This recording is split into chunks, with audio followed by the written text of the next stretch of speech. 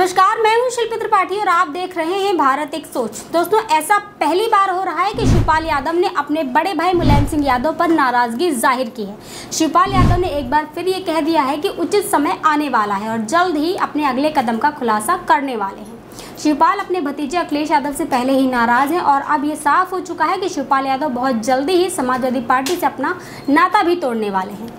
इटावा में विधान परिषद चुनाव की वोटिंग के बाद जब पत्रकारों ने शिवपाल यादव से पूछा कि यहाँ वोटिंग के लिए मुलायम सिंह भी आए हैं तो क्या आप उनसे मिलेंगे? इसके बाद शिवपाल यादव ने कुछ सोचा नहीं और फट से जवाब दिया कि आप जाकर मिल लो। हुआ ये कि शिवपाल यादव अपनी 2022 विधानसभा चुनाव के लिए पूरी तरह से तैयारी कर चुके थे और शिवपाल ने करीब 100 सीटों पर अपने उम्मीदवार भी तय कर लिए थे, लेकिन मुलायम सिंह ने शिवपाल यादव को अखिलेश का साथ देने के लिए कहा।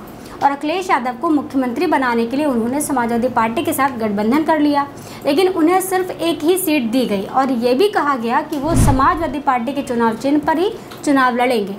पार्टी के चुनाव प्रचार के दौरान कई बार शिवपाल यादव का दर्द उनके ज़ुबान पर आया कि अपने बड़े भाई मुलायम सिंह के कहने पर उन्होंने अपनी पार्टी कुर्बान कर दी है। लेकिन इसके बाद भी समाजवादी पार्टी ने उन्हें सिर्फ़ एक ही सीट दी, जबकि दशकों तक मुलायम सिंह के साथ मिलकर ज़मीन पर मेहनत करके उन्होंने समाजवादी पार्टी को मज़बूत किया है।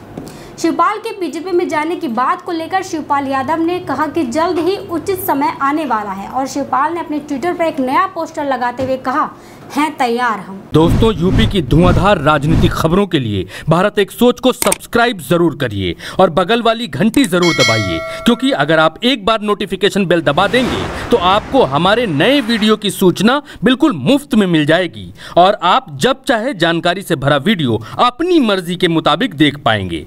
चलते हैं। जय भीम जय भारत।